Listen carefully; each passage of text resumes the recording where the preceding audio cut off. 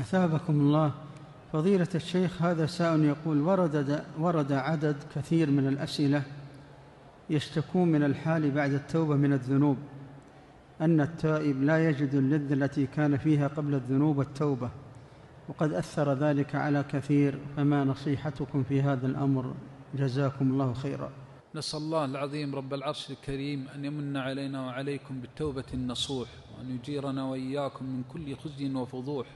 أخي الكريم من تاب تاب الله عليه. وإذا وفق الله العبد, العبد للتوبة فعليه أن يحمد الله عز وجل وأن يبقى على ذلك حتى يلقى ربه على الوجه الذي يرضيه. فالتوبة ليس من دلائل قبولها أن الإنسان يجد الانشراح الذي كان عليه قبل التوبة. خلقنا الله لعبادته وتوحيده سبحانه وتعالى والقيام بحقه. مسألة اللذات وانشراح الصدر وطمأنينة القلب هذه فيها امتحانات لا يعلمها إلا الله وهو أعلم بخلقه وأحكم في تدبيره سبحانه وتعالى.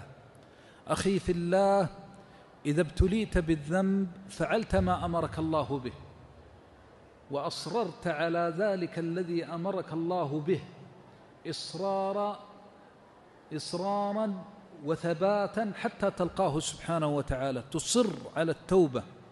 مهما وجدت بعد التوبة لا يؤثر في قلبك. لكن ما وجدت من كونك لا تحس بالراحة التي كنت تجدها قبل ذلك فهذا له أسباب عديدة.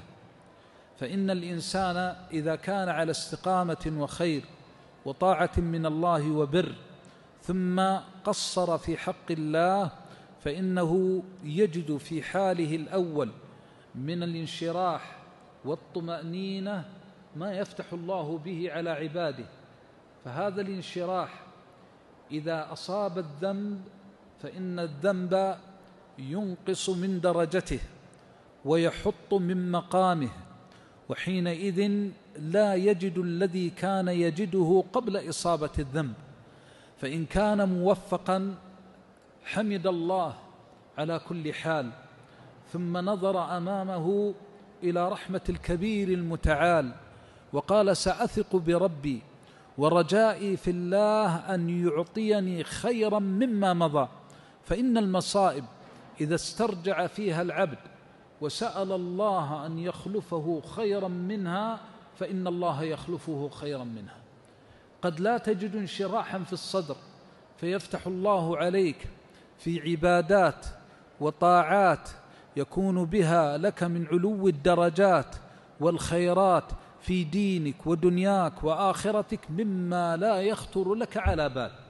تكون قبل التوبة على طاعة وبر فيما بينك وبين الله.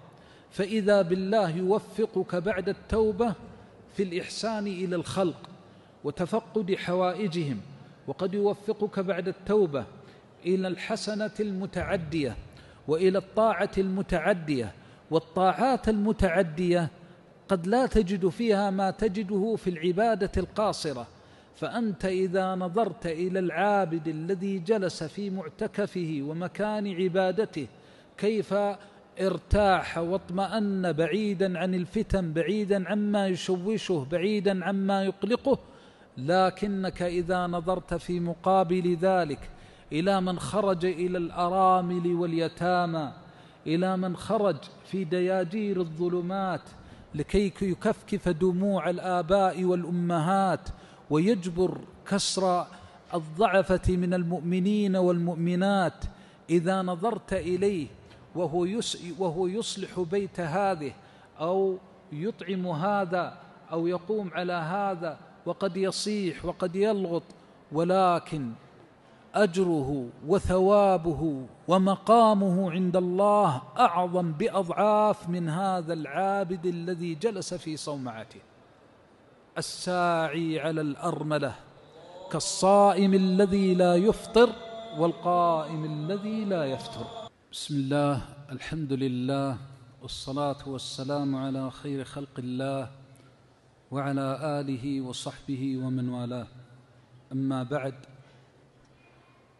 فهذا الذي ورد في السؤال يشتكي منه كثير من الناس وقد دخل به الشيطان على الإنسان بمداخل عظيمة حتى إن بعض الناس يزهد في العبادة ولا يرجع إلى حاله الذي كان عليه في الطاعة والسبب في ذلك أن الشيطان سول له أمورا كثيرة وحدثه بما لا أصل له فقال له إنك بعيد من الله وإن الله لا يحبك ولذلك لن تجد الذي كنت تجده قبل أن تصيب الذنب.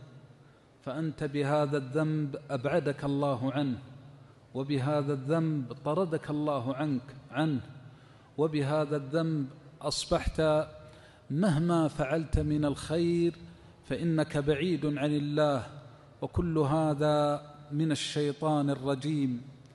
أما الذي من الرحيم الحليم الكريم فإنه إذا تأمله الموفق السعيد أحب الله صدق المحبة. وطمع في رحمته وانكسر لله قلبه حينما يحس أن الله من عليه بالتوبة التي هي أغلى ما يمن به على العاصي. فإن الله لا يمن بالتوبة إلا لمن يحب. والله يحب التوابين ويحب المتطهرين. إذا قال أصبت ذنبي وعصيت ربي وأسرفت في إساءتي وإذا بربي يشرح صدري أن أرجع إليه وإذا بربي يوقع في قلبي حسن الظن فيه فينطق لساني بما يرضيه وأتوب وأرجع إليه. أي رب هذا الرب؟ أنا الذي أسأت فقلت ما لا ينبغي.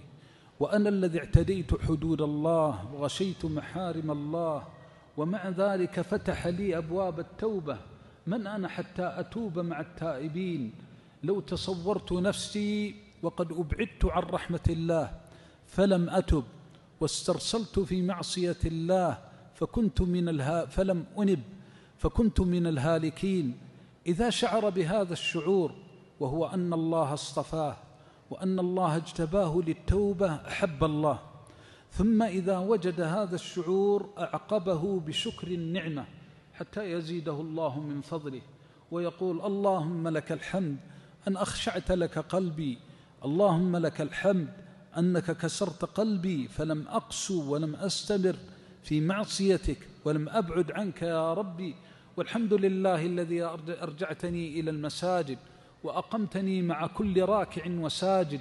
اللهم لك الحمد على فضلك ولك الحمد على رحمتك. أنت الذي ترحمني ولا يرحمني سواك. إذا شعر بهذا الشعور واقترب من ربه زاده الله قربا وزاده الله حبا وفتح عليه من أبواب رحمته. يا هذا إن التوبة ليس من شرطها. ما يظنه الظانون أنك تجد الانشراح.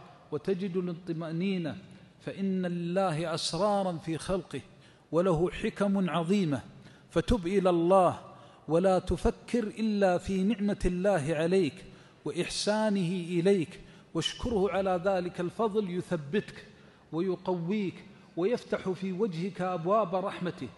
ولقد رأى كثير من الموفقين من تابوا وأنابوا فلما جاءهم الشيطان بهذا الشعور الكاذب لم يلتفتوا وإنما استقاموا وأصروا على التوبة والإنابة إلى ربهم ومضوا. كيف ثبت الله أقدامهم؟ وكيف شرح صدورهم؟ وكيف جعل فيهم من الخير؟ ما لا يعلمه إلا هو سبحانه وتعالى. فأحسن الظن بالله فإنك لن تعدم من الله خيرا في دينك ودنياك وآخرتك. اللهم ارحمنا برحمتك. واشملنا بعفوك وبرك ولطفك. اللهم ارحم ضعفنا واجبر كسرنا. اللهم تب علينا في التائبين. واشملنا بعفوك ورحمتك يا أرحم الراحمين. من حضر معنا ومن استمع إلينا ومن أحبنا فيك. وسائر المسلمين والمسلمات والمؤمنين والمؤمنات من الأحياء والأموات. سبحان ربك رب العزة عما يصفون. وسلام على المرسلين والحمد لله رب العالمين.